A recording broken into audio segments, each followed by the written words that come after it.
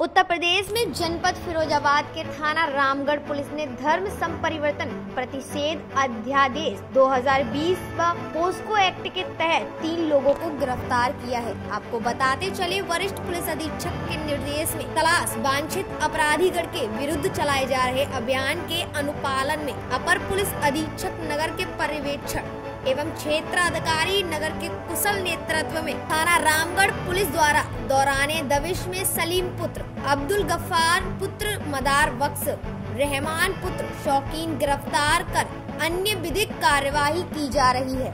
बहुत ही सोचने वाली बात है कि ये लड़की रहने वाली मछली सर जौनपुर की है। इसके पिता की कैंटीन थी गुजरात में। ये लड़का जो है का जो रामगढ़ का रहने वाला है। ये वहाँ मजदूरी करता था, उससे कैंटीन में खाना पीना खाता था। दोनों की बातचीत हुई होगी, वो लड़की को लेके चला आया। मतलब भगा ले गया रामगढ़ ले गया है। वहाँ उसका मुकदमा हो सकता है न लिखे हम लोग। यहाँ पे जानकारी हुई तो झाड़ फूंक के बहाने उसको ले आए, अपने बहनों के यहाँ रखे थे।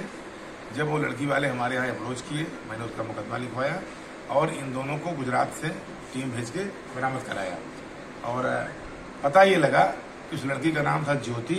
इन्होंने उसका नाम रख दिया मासूम, उससे कर लिया निकाह। अब उसकी उम्र है पंद्रह वर्ष, ये संभव नहीं है। तो उसका पॉक्स लगाया गया। और धर्म परिवर्तन की धारा भी लगाई गई अपहरण की धारा लगाई गई इनको गिरफ़्तार किया गया इनको जेल जेल में कार्रवाई कर सर पूरा मामला धर्म परिवर्तन से जुड़ा हुआ है। हाँ धर्म परिवर्तन भी कह सकते हैं। है तो इनका व्यक्तिगत लेकिन बिना परिवर्तन की शादी कर नहीं सकते थे। तो इनकी इनकी व्यक्तिगत एक जो दुरभि संधि रही है इनकी जो अभिलाषा रही है गलत काम करने की उसमें धर्म परिवर्तन भी जोड़ा गया है। कितने अभियुक्त हैं इसमें कितने अभियुक्त? तीन तीन है। इसका पिता है स्वयं है इसका बहनोई है। दोनों ही इस तरह से है कि उसी के यहाँ लाके दिन रखे रहे और वहीं से पूरी इन्होंने कार्रवाई अपने संचालित की सबको रैकेट इसके पीछे तो नहीं ये मुझे तो व्यक्तिगत ही लग रहा है इनका। व्यक्तिगत है पर्सनल है रैकेट वाली बात आगे दिखेगी